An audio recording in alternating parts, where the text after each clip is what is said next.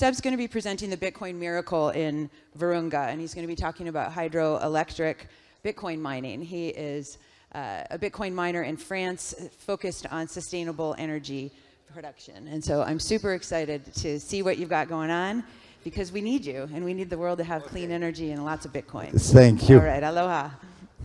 Hello, everybody.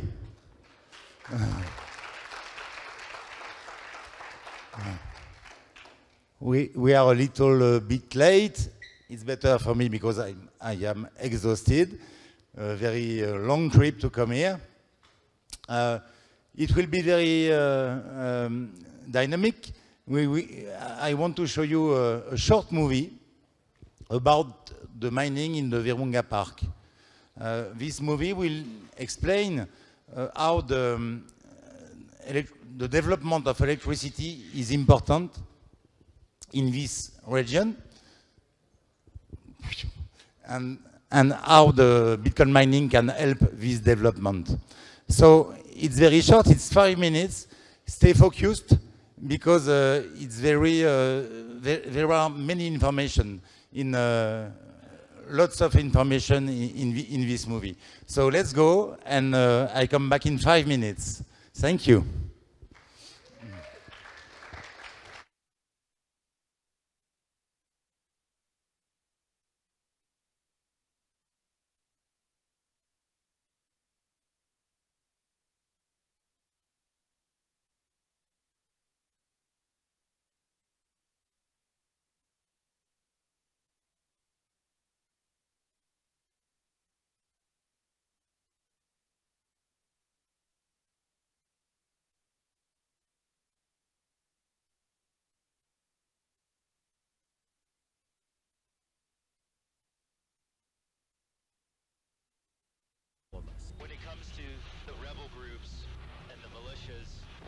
Choose Virunga? Why are they here? You know, it's the civil war in Congo, then the Rwanda genocide that brought them here. Um, but what's kept them here is the illegal trafficking of natural resources in the east of Congo, in particular Virunga National Park. So there you see, you'll see some charcoal burning. Yep. It's the gorilla sector. It's under enormous threat from the clearing of forest. There's thousands of acres forests that have been cleared for charcoal, and it's really the main source of revenue for those militias. Rebel groups and armed militias have pillaged Virunga. By burning trees and turning them into charcoal, they've created a $40 million a year black market that preys upon basic human needs, like boiling water and cooking food. What we desperately need is clean energy, renewable energy, not oil and not charcoal. And where is this renewable energy solution taking place? Well, let me show you. Emmanuel brings me to Matebe, home to a run-of-river hydroelectric plant in the heart of Virunga. It's powered by the Rutshuru River, which flows from Lake Edward and generates 14 megawatts of electricity, enough energy for over a million and a half residents in nearby Goma. Since there's no dam, there's minimal disruption to the natural ecosystem. We're hoping in the next eight years to create eight power plants like this to generate 105 megawatts. That is enough power to create between 80 and 100,000 jobs. Enough to draw out all the young men and women from the militias and work on a whole new instrument for bringing stability to the region. We met Emmanuel de Merode at the beginning of 2020. Two hydroelectric plants were already in operation, and a third one, on the Luviro River, was due for completion six months later. But it was clear to him that the grid in this extremely isolated area would not be ready, and it would be a long time before the plant would have sustained demand. The ideal would be an electro-intensive customer who would set up on the production site. But who would want to set up a factory in Congo, in the country's most dangerous zone, in the middle of the jungle, in a mountainous area with no real roads, no internet, and the closest village more than four hours away. Could Bitcoin mining cope with these conditions?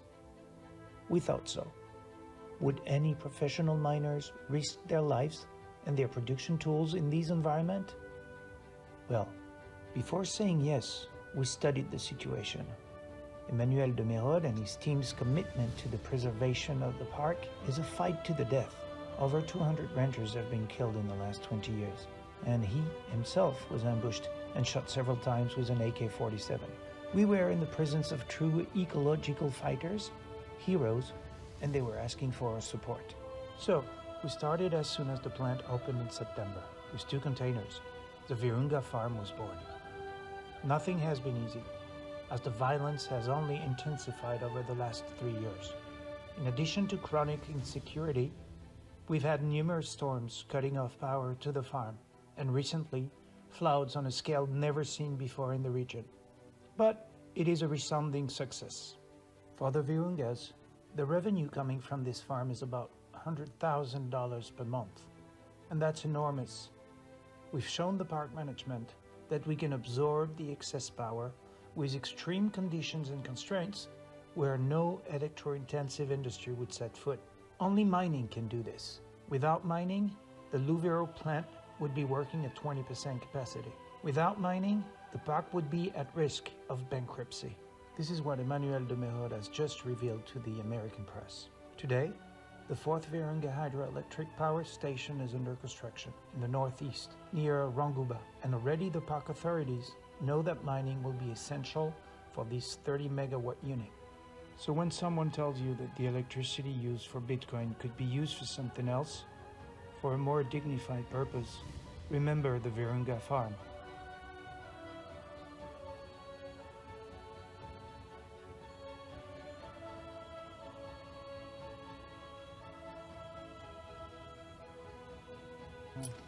Catalé, euh, tout le monde a sa ceinture c'est bon Euh, si, si vous avez mal au cœur, il y a des sachets, ok? Ou bien il y a la chemise devant. Ah. c'est chaud. Mais tant que ça ne touche pas l'avion, c'est bon. Euh,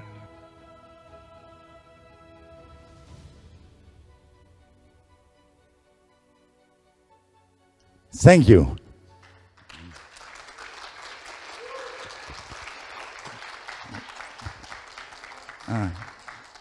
On the on the movie, you saw GF, my uh, my uh, associate and, and friend. So GF, come on the stage, please, and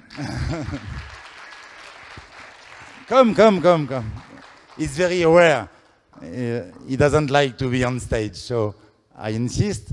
Uh, and we have a few minutes, so it's up to you. Uh, you you have to to ask me anything, what you want about this project and about mining in general, if you want. So I wait for your questions. Thank you. Just generally speaking, given that no one wanted to go to these locations, you went. What is it like, day in, day out, in these in this location, living there, working on this facility? I apologize. Let me speak a little more slowly. Being there, what is it like day in, day out? What is it like running the facility? What is, is, is there any threat of violence with the militia groups? Um, just on, from a very human perspective, being the person on the ground, being someone on the ground, what is it like day to day? Is that. Does anyone speak French? Can someone help me out?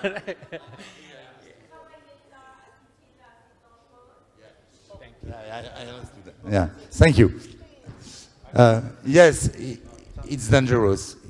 It's, yeah, it's really dangerous for all people living in this uh, region, not only for the miners, but uh, merci beaucoup.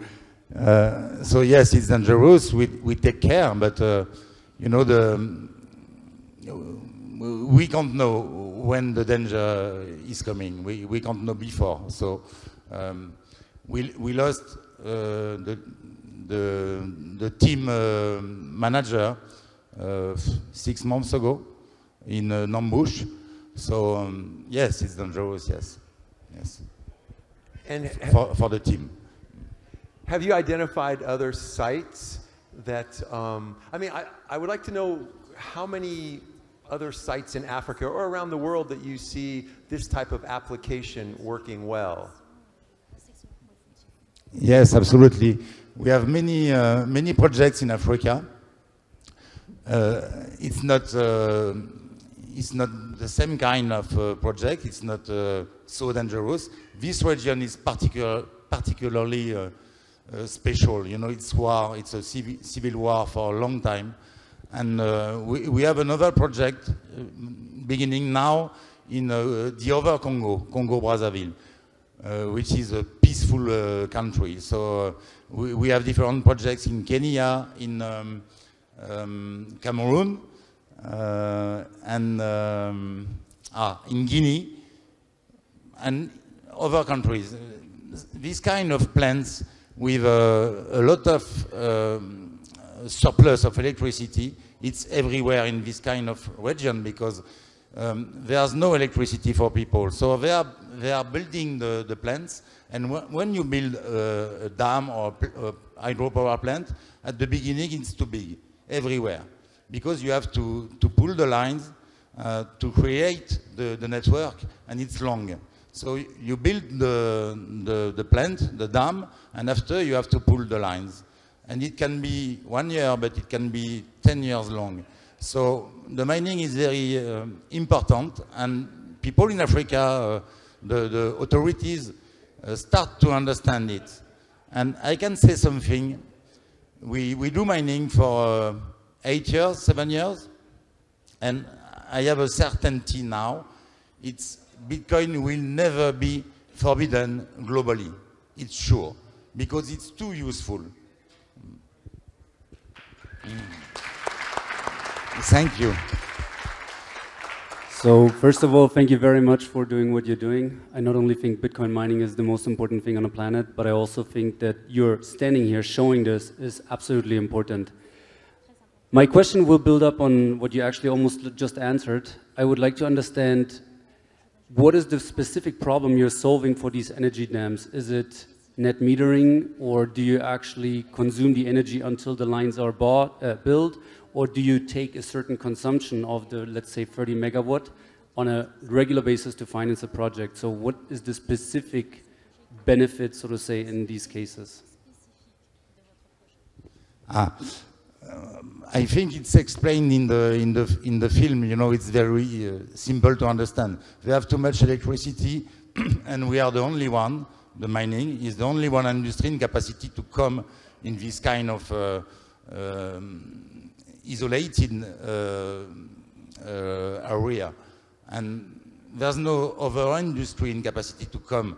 You know, there's no road, uh, no airport, nothing. So you, you don't have a shop, you don't have an hotel, you have nothing. So you can install a mining farm, but you can't install a, um, a factory of uh, steel, for example. So, so it's, a, it's a regular consumption. So you say there's 30 megawatts being produced, 10 you take, and the other 20 are given to the, to the, to the cities, sorry. Um, I was wondering if, so what you're basically confirming it is, it is the regular consumption of energy, which is an additional revenue model to the dam because the dam produces 30 megawatt while the city only uses 20. Understood. Um, how do you manage the repair of the machines if it's so remote? It's, uh, it's, it's special. So uh, we, we, have to, um, uh, we have to manage all the maintenance. We have to repair the machines in the jungle. So uh, Jean-François uh, used to come in the, in the farm and explain to the, to the people, to the guys, the, the engineers we have, the local people, how to repair the, the machines. They have training with the Chi Chinese people uh, with internet it's possible. And we have a team now, um, I think they are the best in the world because they are in capacity to repair this kind of very technical machines in the jungle with nothing, you know. Congratulations. Thank you so much. Thank you. Uh, we have an, another question? No? You, you have the micro? you move. Um, hi.